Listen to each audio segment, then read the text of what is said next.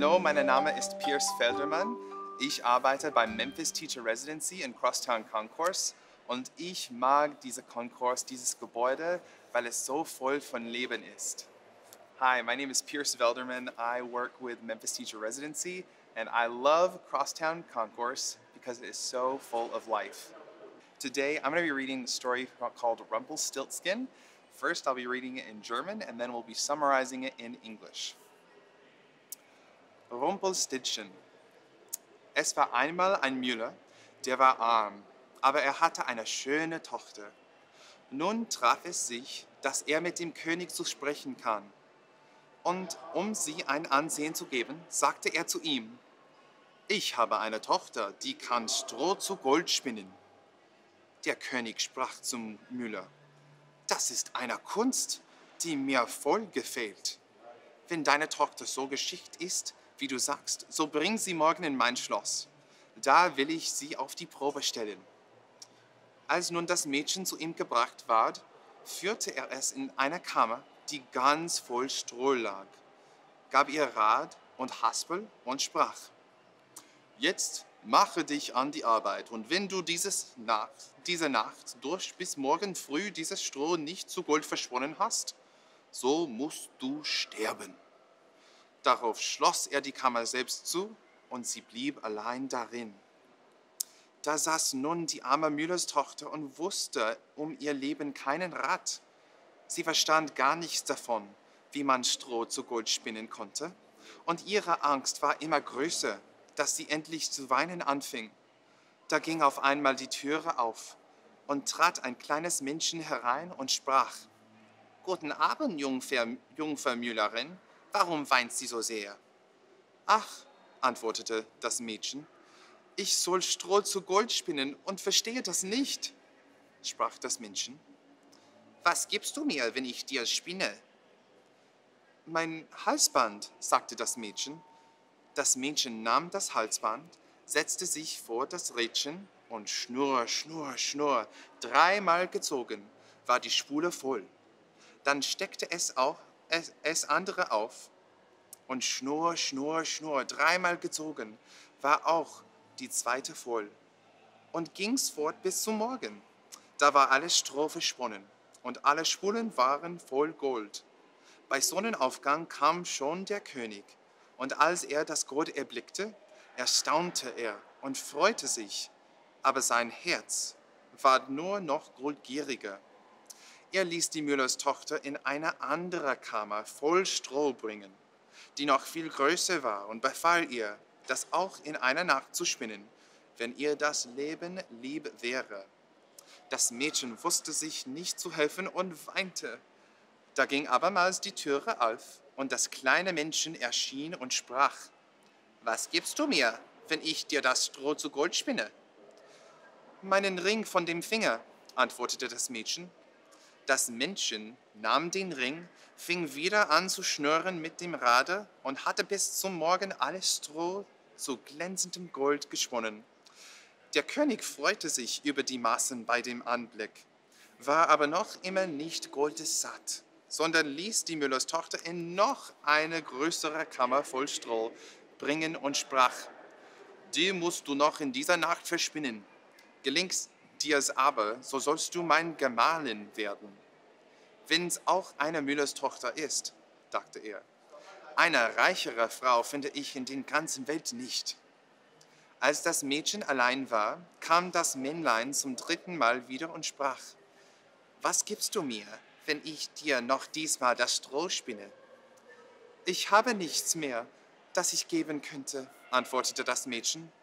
So versprich mich mir, wenn du Königin wirst, dein erstes Kind. Wer weiß, wie das, wie das noch geht, dachte die Müllers Tochter und wusste sich auch in der Not nicht anders zu helfen. Sie versprach also, mit, also den Menschen, was er verlangte, und das Menschen spann dafür noch einmal das Stroh zu Gold. Und als am Morgen der König kam und alles fand, wie er gewünscht hatte, so hielt er Hochzeit mit ihr, und die schöne Müllerstochter war eine Königin.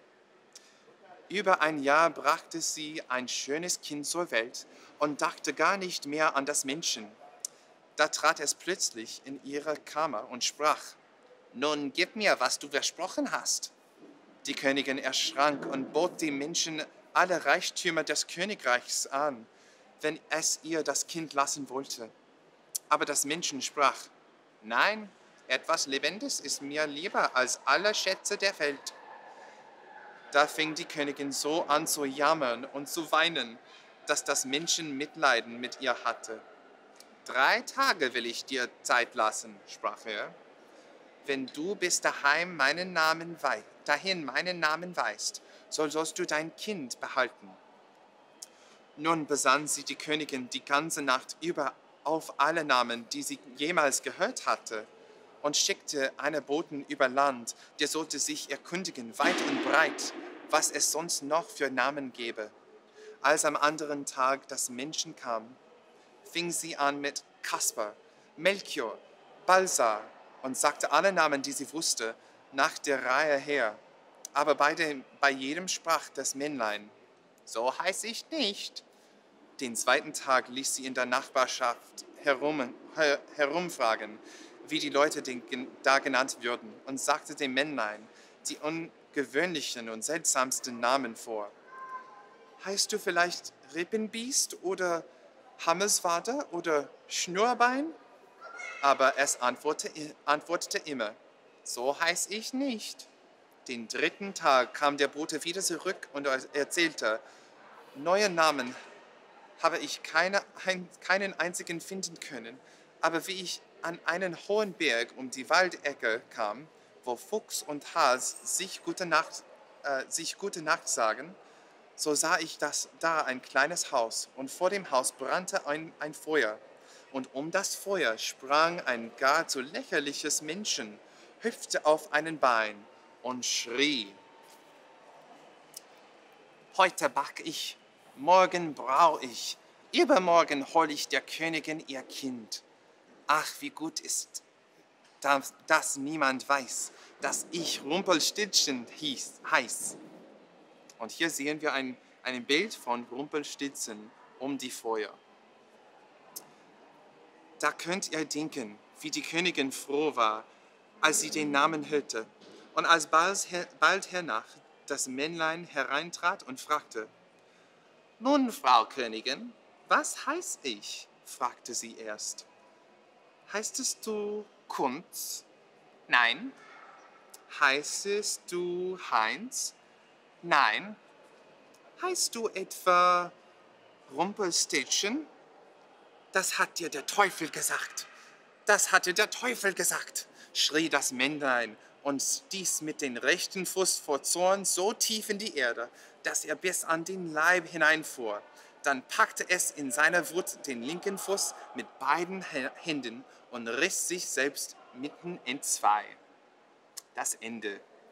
All right, ladies and gentlemen, now I'm going to go through, basically summarize what our story told us. So, in the beginning of our story, we heard that there was a miller who went to the king and said, My daughter can turn straw into gold. She can spin it into gold. And the king said, Okay, let's see your daughter. And he invited the daughter to his castle and showed her a room full of straw and said, If you want to live, you have to turn all of this straw into gold with this spinning wheel. She didn't know what to do. So what did she do? She started crying and crying. And then this little man appeared and came in and said, I know how to spin the, the, the straw into gold. What can you give me in exchange? And first, she said, My necklace. Okay? And he did it. He worked all night and spun that straw into gold. And he disappeared before the morning. And the king came back and saw them, saw the gold, and said, Okay, let's try it again, and took her to a bigger room filled with even more straw. And he told her again, Tonight, you have to turn all of this straw into gold, or you'll be killed, you'll die. So she starts to cry again. She doesn't know how to do it. So the little man comes again and says, What will you give me this time? She said, My ring. He said, Okay. And he spun all of that straw into gold and disappeared. The next morning, the king came by and said, Well done. Now you have to do it a third time, and this third time, if you spin all of this straw into gold, you get to marry me and become queen. And so she starts to cry once the king leaves again. She doesn't know how to do it. She doesn't want to die, but she really does want to become queen. The little man comes again and says, What can you give me this time? And the, the, the miller's daughter said, I don't have anything. And so he told her, Give me your firstborn child. She said, Okay, it's going to get me out of this situation, so okay. And so the little man spun all of that straw into gold. And the next morning, the king came back and saw the gold and made the miller's daughter his queen. Now, she kind of forgot about that as the time went on. And eventually, she had this beautiful baby that was born. And she had not thought about Rumpelstiltskin until all of a sudden he showed up in her room and said, Okay, it's time for you to give me your baby. And she said, No, no, and began to cry and cry. And the little man felt very sorry for her. And so he said, Okay, I'll give you three days. You have three days to remember to learn my name, and if you can guess my name, you can keep your kid. So she starts on day one. She tries all the names she knows. Rumpelstiltskin says, That's not my name. Day two, she goes around asking everyone in the neighborhood, What's the strangest names you've heard of? And she tries them. And the little man says, That's not my name. Before day three, there's a man who comes and tells her of this little man who was out in dancing around a fire all by himself at night. And he sang a little song about how no one knew that his name was Rumpelstiltskin. And so, when the man came back on the third day, the miller's daughter, who's now the queen, she said, Oh, is your name Kunz? No. Are you Heinz? No. How about Rumpelstiltskin? And the man was so upset. He stamped his right foot down on the ground so hard, and he ripped himself in two. The end.